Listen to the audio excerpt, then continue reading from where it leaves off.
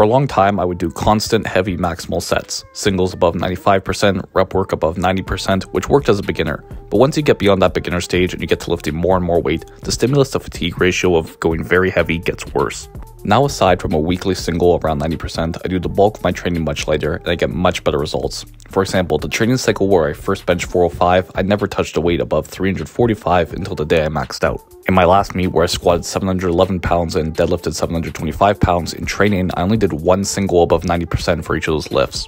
Taking a step back and focusing on lighter work can really pay off.